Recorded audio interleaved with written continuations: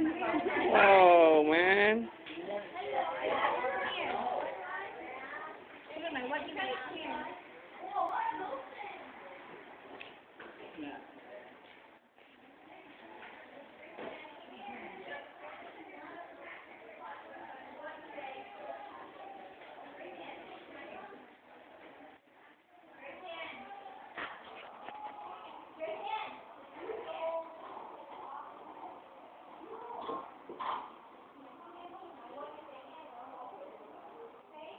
This is what you get when you're not a part of the crowd.